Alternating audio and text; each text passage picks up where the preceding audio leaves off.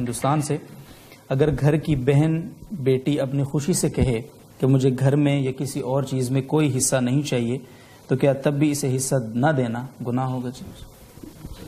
مسئلے کی روح سے تو جو قانون ہے وہ تو یہ ہے کہ جو بھی اپنا حق دل کی خوشی سے معاف کر دے تو معاف ہو جاتا ہے۔ جی۔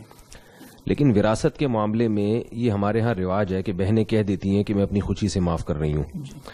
تو نبی صلی اللہ علیہ وسلم نے فرمایا لا يحل مال امرئ مسلم الا بطیب نفس منه مسلمان کا مال اس کی دل کی خوشی کے بغیر حلال نہیں ہے۔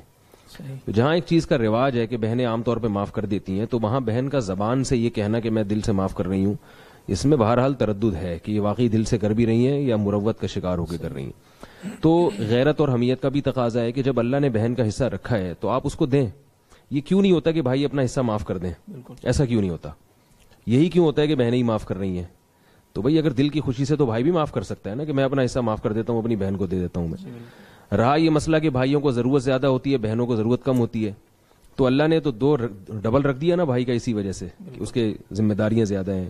تو جب اللہ نے کر دیا ایک چیز کی تلافی، میں ایک واقعہ میرے ساتھ ایسے ہوا، ایک صاحب میرے پاس آئے، کہنے لگے کہ میری بہن نے کہ صرف پچاس ہزار روپے اس کے وراثت میں بنتے ہیں، تو وہ مجھے معاف کر دیے اس نے۔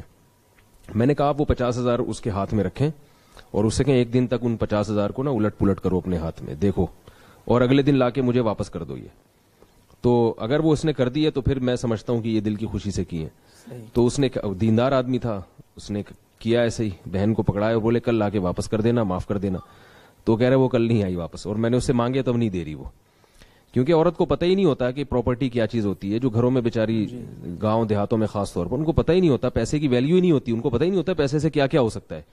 تو وہ سوچ رہی ہیں یہ زمین ہے یہ مکان ہے یہ میں نے دے دیا یہ دکان ہے چل چلیں آپ ہی رکھیں۔ جب اس کے پاس آئے گا اس کو پتا چلے گا کہ یہ مال کے مال جب آنے سے کیا کیا سہولتیں ملتی ہیں۔ تو میں سمجھتا ہوں پھر وہ شاید کبھی بھی معاف نہ کرے۔